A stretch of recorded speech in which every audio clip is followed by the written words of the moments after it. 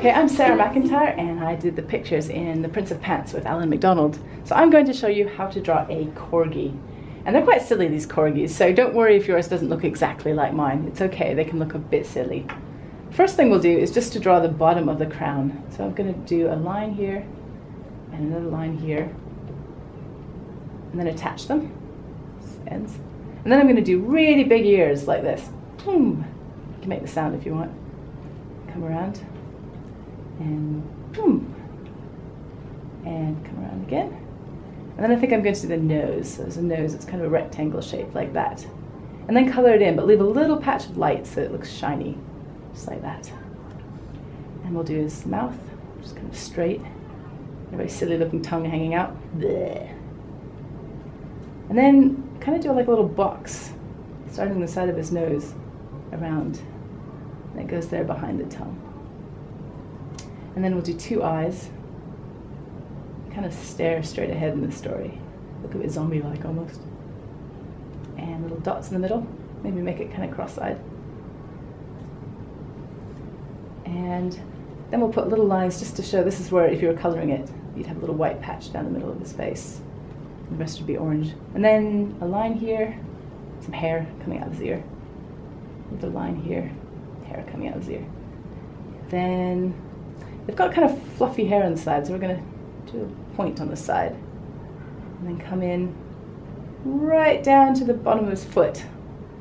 And his foot, we're going to come a line here and then do three little claws. One, two, three. And then another line and kind of come around have some hair pointing down in his tummy. And then the line. Three more claws. One, two, three. Line. And then we're going to do the other side of his face, so the hair that comes off here, like that. And then we're going to do his backside. So come around right to here. Little thing comes out where his foot is. And again, you'll just draw three little claws. I don't think they really have three claws, but that's how I draw them. And then we're going to connect right here like that. And another little leg in the back, just kind of hidden behind. Maybe line here. And let's see, I put a little tail on. And also I've got kind of another little line here just to show where the white patch goes.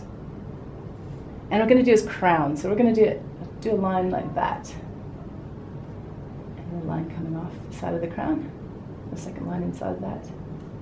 Same on the other side. And then you can color this red if you're coloring it, but I'm just going to do it in black.